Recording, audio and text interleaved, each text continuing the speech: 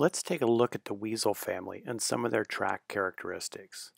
The weasels that I get to track are the river otter, mink, short and long tail weasels. All weasels show five toes on their front foot and five toes on their hind foot in good clear tracking substrate. I find river otter tracks and sign along many of our waterways here in the northwest. I also find mink tracks and sign along the same waterways, but less often than river otter. Long and short tail weasels are a bit more elusive, but I find their tracks and sign along waterways associated with grazing lands. If you research what each of these animals feed upon and their predatory-prey relationships, this will help you where to look for their sign. River otter tracks are a great example of this family of animals, so let's look more closely at its front and hind foot. Here is a left front and right hind foot of a river otter. Take a quick mental note of the shape of these tracks by drawing an imaginary line around each track. You can include the claws or not in your sketch. I don't find the shape of the weasel family tracks particularly helpful, but it is a good practice to look at shape and can be helpful in distinguishing front from hind in blurry tracks. Next, I look at symmetry by drawing a line down the middle of each track.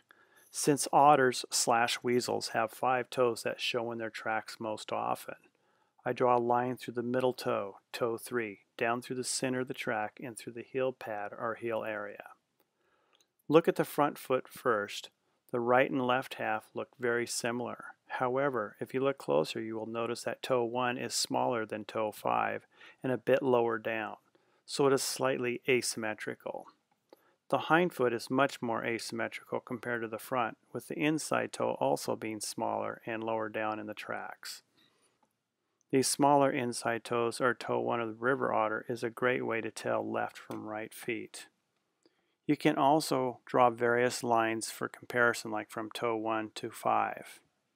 The more asymmetrical, the more angled this line will be. Now let's look at these tracks from the toes to the heel. Both front and hind feet tend to show five toes on each foot. Of course, this depends on substrate. Beginning from the inside toe of each foot, we have toe 1, toe 2, toe 3, toe 4, and toe 5. Everywhere you see a point on a toe, that is a claw. So on the front foot, there is a claw on toes 3, 4, and 5. On the hind foot, there is claws showing on toes 2, 3, 4, and 5. As you can see, not all these toes are showing claws in this substrate. Special note, otter toes look like teardrops when the claws are present. Moving to the palm pads of each foot, I notice that they look lobed, more so on the front foot than the hind foot. Each foot has four palm pads, but they are fused instead of individual, which makes the palm look like one whole piece.